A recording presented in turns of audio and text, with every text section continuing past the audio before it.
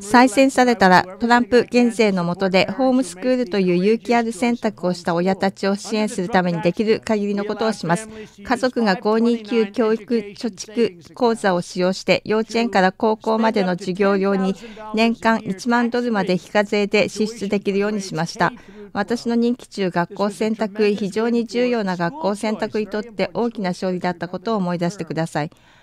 しかし、その恩恵はホームスクールの生徒には適用されませんでした。次の任期で拡大するホームスクール運動を支援するために、私はホームスクールの親たちにホームスクール教育に関連する費用は、子ども1人当たり年間1万ドルを完全なる非課税という同じ素晴らしい恩恵を与えるよう直ちに戦います。また、ホームスクールの家族全員がそうでない生徒が利用できる特典に完全にアクセスできる権利を確保するためにも取り組みます。運動プログラム、クラブ、放課後活動、教育旅行などへの参加を含みます。ホームスクールの家族の皆様、私は皆さんの擁護者になります。民主党に投票しないでください。彼らは皆さんを破滅させようとしています。梅田は2つの文章をつなげることができないのに皆さんを破滅させようとしていると言っても過言ではありません。民主党に不代でしないでください。正直なドナルドに不代でしてください。どうもありがとうございます。説します。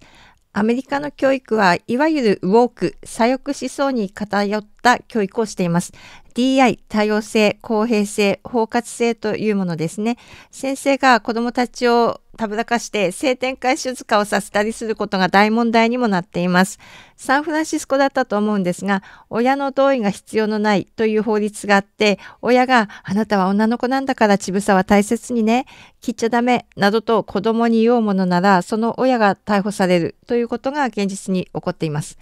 また、流行り病の時にはリモート授業というのが行われていたんですけども、当然子供はお部屋で先生の授業をネットで見てますよね。で、親がどんな勉強してるのかなと子供部屋を覗いたら、いわゆるジェンダー教育をしているんですよ。それで怒った親たちが教育委員会に苦情を言いに来ました。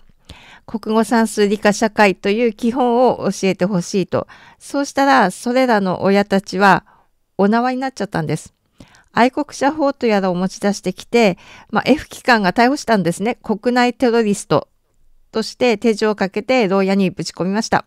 そういうことが梅田政権では起こってきておりました。それでアメリカの子供たちの学力は下がりに下がって学校から子供を守ろうという動きが出てきているんですね。